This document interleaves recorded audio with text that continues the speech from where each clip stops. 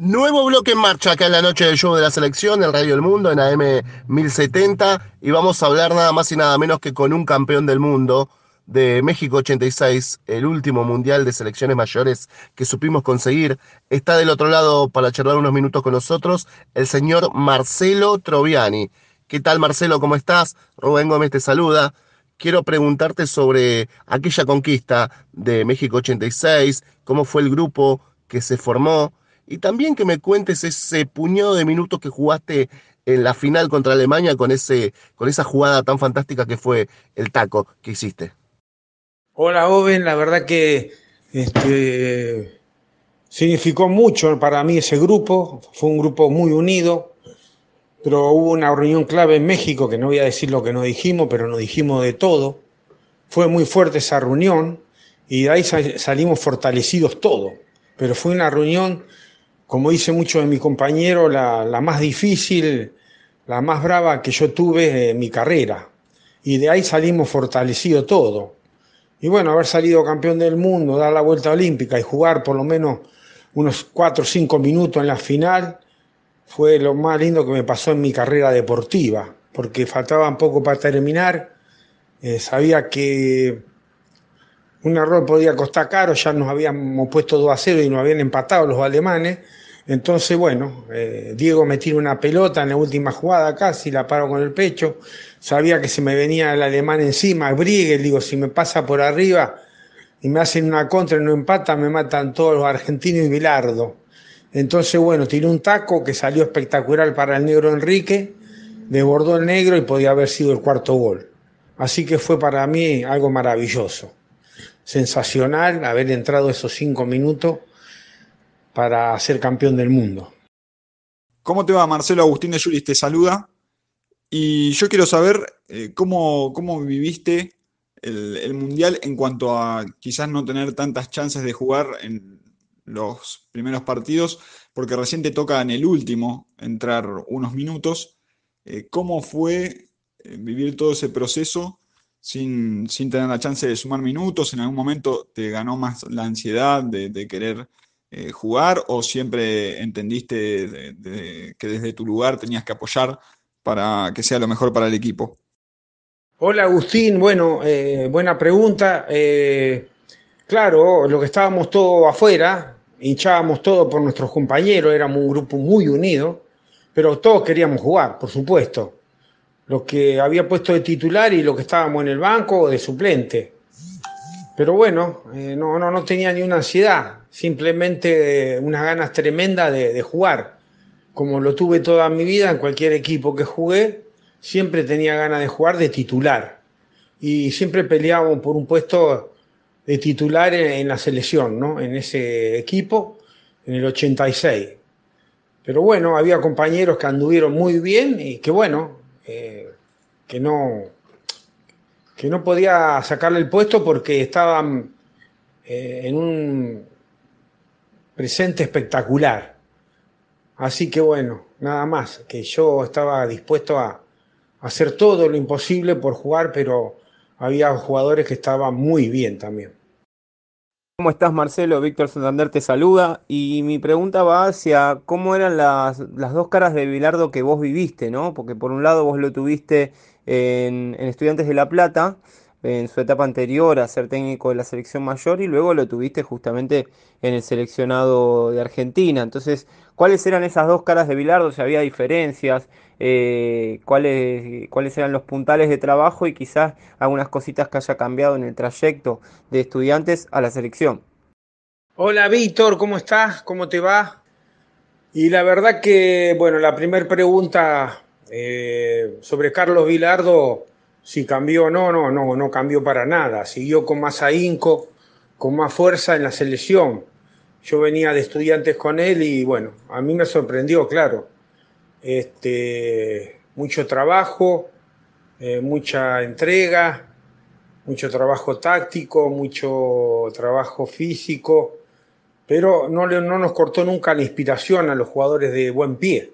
Y vos imaginate que que después cuando va el seleccionado lleva seis jugadores de buen pie. Eh, de todo teníamos buen pie, pero lleva tres, eh, seis número 10. Tapia, Borghi, El Bocha, Bocini, quien te habla, Maradona y Burruchaga. Así que no cambió, siguió igual eh, con su idea y la mantuvo a su largo de su carrera, y más en, el, en la selección argentina. Hola Marcelo, ¿cómo te va? Te saluda Gustavo Pacenti y mi consulta es eh, por esa gira de la cual hacías mención, ¿qué, qué te quedó, qué experiencia te quedó eh, con el equipo que, que termina ganando después el Mundial en México en 1986? La verdad que mucho, compartir con los mejores compañeros que tuve, con los de gran personalidad, con los de, gran carácter, porque éramos un grupo de 23, pero yo creo que 20 o 15 teníamos carácter tremendo. Por eso se hizo esa reunión muy fuerte antes de empezar el Mundial y ahí salimos adelante. Entonces compartir con ellos fue un orgullo, una experiencia única, ya que estamos todos unidos, el que jugaba, el que no jugaba, luchábamos y eh, gritábamos y ayudábamos al que no jugaba, y la verdad que fue sensacional. Haber eh, compartido con mis compañeros el 86, ese grupo inolvidable, y salí campeón invicto afuera, de visitante en México, contra todos y contra todos. Así que fue sensacional. Estamos hablando con Marcelo Troviani en el aire del show de la selección.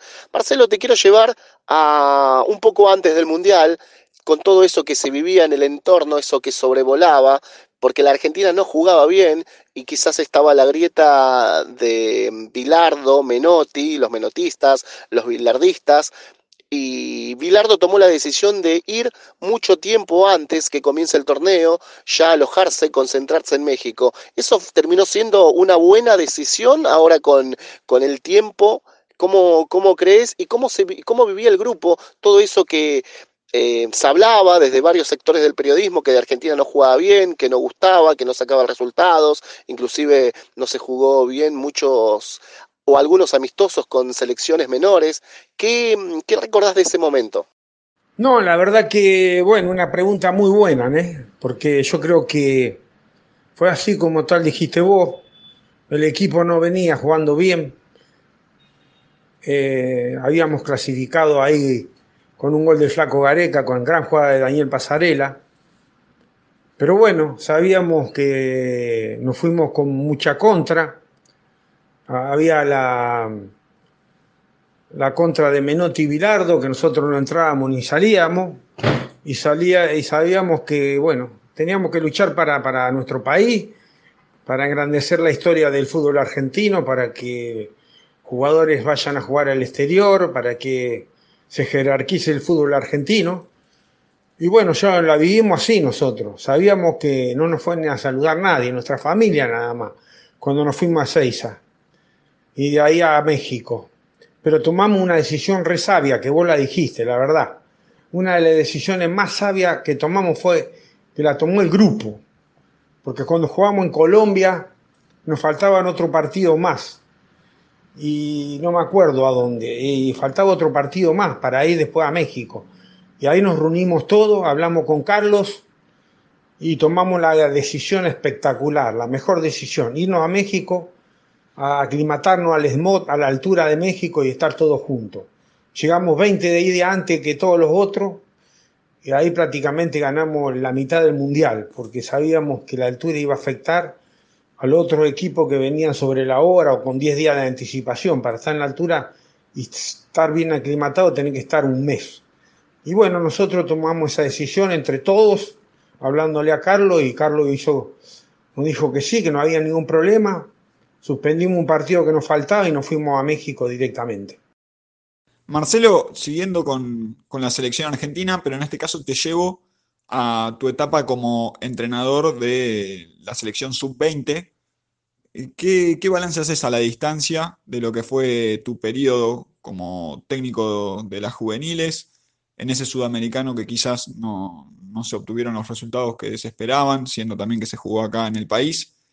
Y también teniendo en cuenta que muchos de esos jugadores ya hoy en día están consolidados a nivel mundial y, algunos integran la selección mayor. ¿Qué nos podés contar de ellos, de algún jugador puntual que vos recuerdes haber dirigido y que te sorprendió por eh, lo, que hacía dentro de la cancha y, la claridad que tenía para, para poder entender el juego? Sí, la juvenil, la verdad que fue una etapa linda, lo que pasa que no se dio los resultados en la fase final del sudamericano, pero lo importante para mí fue que he sacado jugadores, Icardi, eh, Dybala, eh, todos esos jugadores, al cual ahora están y son figuras mundiales, Craneviter, eh, son muy buenos jugadores. Había ganado el torneo de la Alcudia, ahí lo cité a, a Mauro Icardi, eh, después fuimos a otros campeonatos, en Chile ganamos también, lo cité al hijo del Cholo Simeone, debutó con un gol. Entonces para mí lo más importante, por eso el fútbol eh, muchas veces está mal el de formación, hay que formar a los jugadores para llegar a primera, eh, al primer equipo, al seleccionado grande y que jueguen bien y que ahí sí tengan resultados. Acá se apresura todo y lamentablemente a mí no se me esperó y tuve un año y medio nada más. Pero el proceso fue muy bueno, porque saqué muy buenos jugadores, hasta Muso. Mira, a no lo conocía ni los perros ahí en Argentina, nadie. Me mandó un cassette eh, un amigo de mi hijo Pablo, lo miré con el Pato Garré en la selección, en el predio, y nos gustó los movimientos. Y Muso, ¿quién nos conocía? Nadie. Y ahora Muso está triunfando en el fútbol italiano. Un gran arquero y es tercer arquero de la selección mayor. Entonces, para mí, un orgullo, hablando con Alejandro, con todo ello, yo lo más importante era eh, sacar jugadores para la selección grande. Y hay como cuatro o cinco, eh, el mismo, bueno, Dybala, como te dije, Icardi, Ocampo. Ocampo también estuvo conmigo en el proceso. Y otros jugadores que no me dejaron venir. Por ejemplo, Mauro Icardi no me lo dejaron traer. Dybala no, no me lo dejaron venir. Entonces, fue difícil, pero yo quería formarlo, no salir campeón, formarlo para la selección grande. Desde tu visión y desde tu lugar en, aquel entonces, ¿qué rol ocupaba em, los, puntales, digamos, de la defensa? Eh, por aquel entonces, antes en la, antesala del Mundial 86, sabemos cómo la pasarela lo aquejó un malestar que lo marginó de la, cita mundialista y eh, quizás ahí tomó preponderancia la figura también de, de Ruggeri como caudillo. Hoy lo tenemos a Oscar como un abanderado, como alguien que representa y, defiende a la generación del 86 a capa y espada, porque este ocupa un gran rol en los medios. Pero qué roles tenían cada uno eh, en aquel entonces, ¿no? en el 86. Si era tan importante Ruggeri o este, Pasarela, aún así todo se hacía, se hacía notar como líder. Para mí todos eran importantes, fue un gran equipo y todos eran importantes, como dije antes. De 23 jugadores, los 23 tenían un fuerte carácter, gran personalidad. Pero sobre todo, Daniel Pasarela iba a jugar de titular. Lamentablemente tuvo esa enfermedad, eh, esa enfermedad que no lo dejó jugar. Pero después apareció el Tatabrón, que tenía gran personalidad, carácter, fuerza, garra, gol, cuchufo, que tenía calidad, entrega, anticipo, y el cabezón Ruggeri, también con gran personalidad, gran carácter. Eh, bueno, la verdad que teníamos una defensa espectacular y la verdad que eran todos muy buenos jugadores, con una gran personalidad, con un gran carácter y por eso salimos adelante. Y para jugar en tu puesto, en el centro del campo, eh, ¿qué cualidades hay que tener? Eh, por lo menos en esa época que jugabas vos, y, en estos tiempos, ¿a qué jugador vos ves con esas características que tenías vos? Bueno, muy buena pregunta, sí me la han hecho, pero es linda contestarla, ya que bueno, yo era un 10, un jugador este, enganche, ¿no? Pero después me fui acostumbrando en Europa, cuando fui a jugar Europa 4 o 5 años en el Elche y en otros equipos. Después cuando vine con Carlos Vilardo me fui acostumbrando a jugar este, de mixto, eh, muchas veces, de volante mixto. Pero la posición mía, eh, imagínate eh, que yo empecé en Boca de número 5, que era un número 5, pero como juegan ahora, como juega Pjanic, como juegan varios números 5, que hay entrenadores que prefieren al número 5 que salga jugando bien la pelota, que dé bien destino al balón, que sea el enlace entre defensa y ataque, que a los números 5 que recuperan balones. Yo era de los números 5 que jugaba muy bien a la pelota.